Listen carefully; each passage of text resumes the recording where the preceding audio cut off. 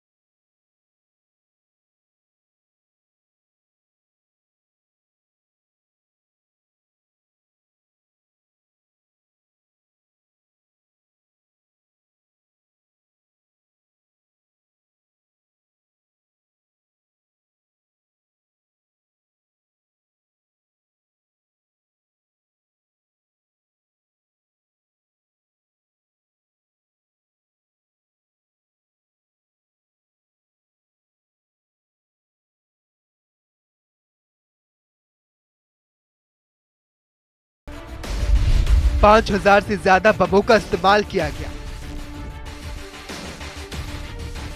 पाक के नापाक इरादे क्रूरता की हदों के सामने भारतीय रणबांकुरों के हौसले हावी रहे। ठिठुरती चोटियों पर जवानों ने बहादुरी का ऐसा परिचय दिया कि पाकिस्तान को भूखी खानी पड़ी। इस जंग ने कई लालों को उनके परिवार से हमेशा हमेशा के लिए जुदा कर दिया, लेकिन वो जहन में ज़िंदा थे, ज़िंदा हैं और ज़िंदा रहेंगे। न्यूज़ डेस्क जनता टीवी